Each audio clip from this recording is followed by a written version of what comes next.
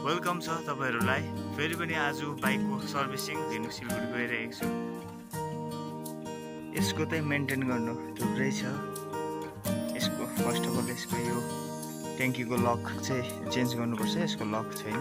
Looking glass यो one साइडको फुटेको छ र यो पनि विन्डसिल्ड एउटा चेन्ज गर्नुपर्छ। यसको त यो सक्कर ओइल लिक भएको छ। अन्त यसको वासर नभए चाहिँ यो अब यो सक्करमा कुनै प्रकारको ड्यामेज स्क्रेच छ भने चाहिँ अब चेन्ज गर्नुपर्ने हुन्छ।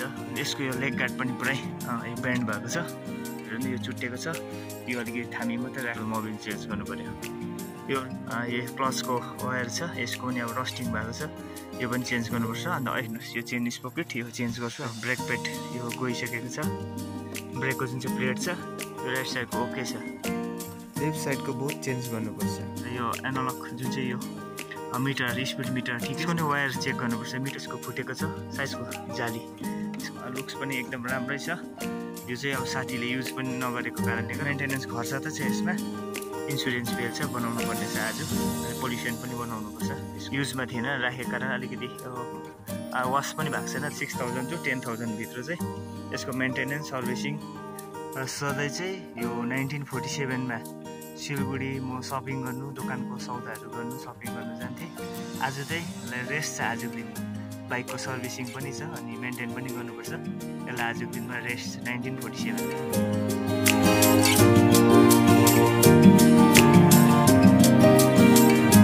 गएको आमा? गएको। ए बस ल। सिलगढी गएको। सिलगढी गएको। जान्छस्? नरिसान हौ नरिसान नरिसान नलगेन भने रिसाएको। नेक्स्ट टाइम लान्छु नि ल हेलमेट आज एउटा मात्रै नि त। ल है ल। हुन्छ अब त मेरो यो सिलगढीको यात्रा।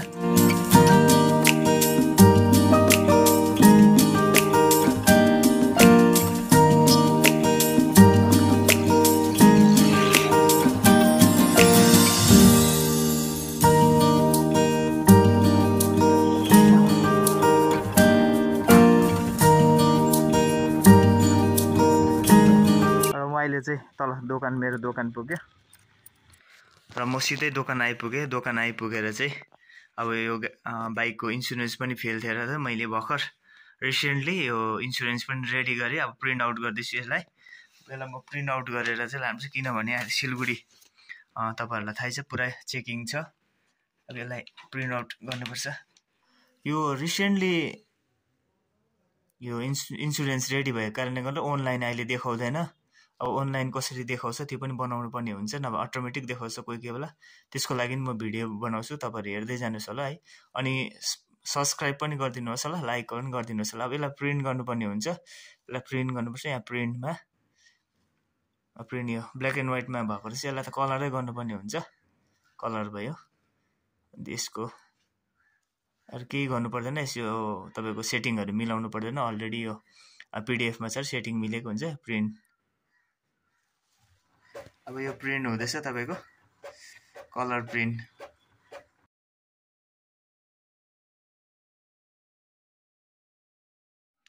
र फाइनली इन्सुरेन्स पनि मेरो रेडी भयो। डकुमेन्ट्स चाहिँ रेडी भयो मेरो आजको इन्सुरेन्स। राइड गर्दा ड्राइभ गर्दा डकुमेन्ट्स त अपडेट बोक्नुपर्छ। म त बाइक गाडीहरू डकुमेन्ट्स अपडेट राख्ने पनि छ यो फेल भएको कारणले गर्दा यो मैले इन्सुरेन्स रेडी गरेँ अर्को छ लाइसेन्स हुन्छ एउटा अनि यो पल्युसन फेल छ टु ट्वेन्टी थ्रीमा छ।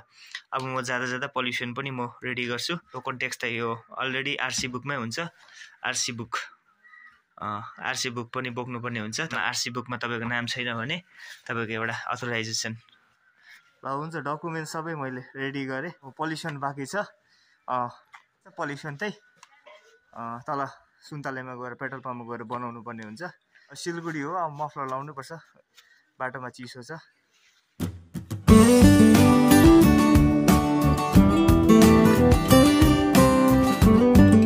सुन्तले पेट्रोल पम्प आइपुगेँ।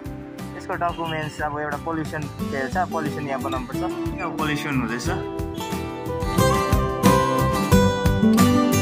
पोल्युसन पनि अब रेडी भयो। हुन्छ अब पोल्युसन पनि रेडी भइसक्यो।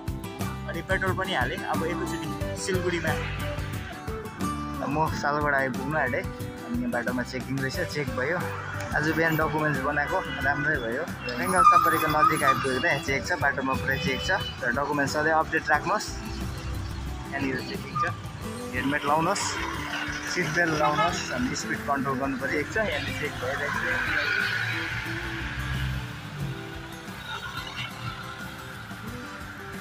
यो बेङ्गल सफारीको छेउमा चेकमा गऱ्यो डकुमेन्ट चेक गरेँ तर ओके छ डकुमेन्ट सबै बनाएको थिएँ मैले पोल्युसन इन्सुरेन्स।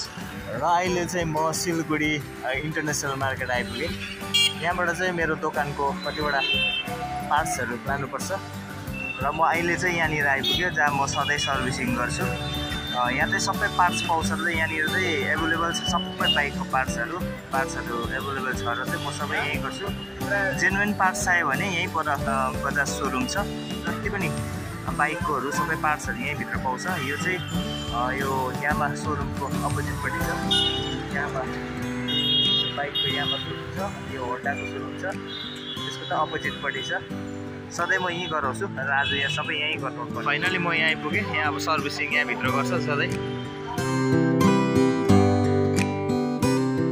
यहाँ सर्भिसिङ हुन्छ। यहाँ माथि सबै पार्ट्सहरू यहाँ पाइहाल्छ। यसको यो भित्र सबै जेन पार्ट्स पनि पाउँछ। जेन्युन पनि पाउँछ नर्मल पनि पाउँछ। र यसको सकरको काम सुरु भयो। जस्ट हालेको देन एन्ड देन सुरु भइहाल्यो सकरको काम। यसको अब टाइमिङ चेन्ज पनि भन्दैछ। के के अरे? Timing chain tensioner gasket Mobil change गर्नुपर्ने रहेछ। यस्तो हालेको। त्यस्तै अब सर सुरु भइहाल्छ यिनीहरूको चाहिँ। चार पाँच भाइ छ यो सानो सानो भाइहरू छ उनीहरूले गरिहाल्छ।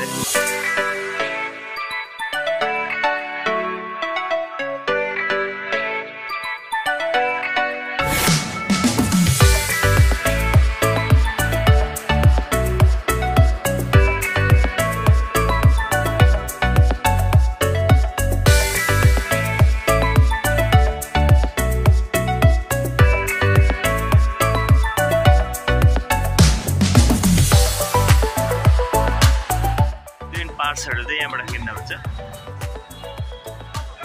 बाइकको सबै पार्ट्स पाइहाल्छ यसको। यो timing change timing change change गर्नुपर्ने रहेछ। टेन्सनल चेन्ज गर्नुपर्छ बेल। ग्यासकेट मोबिल चेन्ज गर्नुपर्छ मोटुलको। मोक्से इन्डिकेटर थ्री फिफ्टी ओरिजिनल रहेछ बजाजको। पेट्रोल ट्याङ्क लक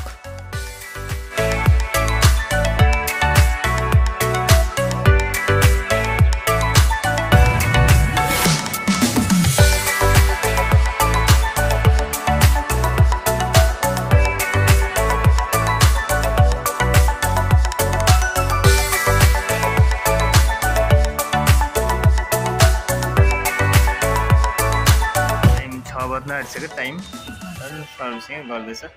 प्रायः प्रायः चेन्ज गरेको सबै। अहिले साढे पाँच भयो। मैले एक बजी गाडी हालेको बाइक र पनि अहिलेसम्म सर्भिसिङै हुँदैछ। अब रात परिसक्यो सबै लाइटहरू जलिसक्यो। सात बजी बिस हो अब रेडी भयो। हावाहरू चेक गर्दैछ।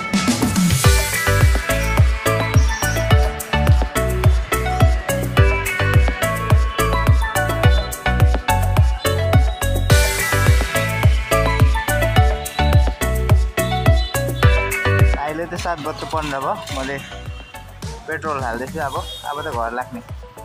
र अहिले जस्ट म घर आइपुगेँ टाइम भएछ आठ बजेर बिस मिनट।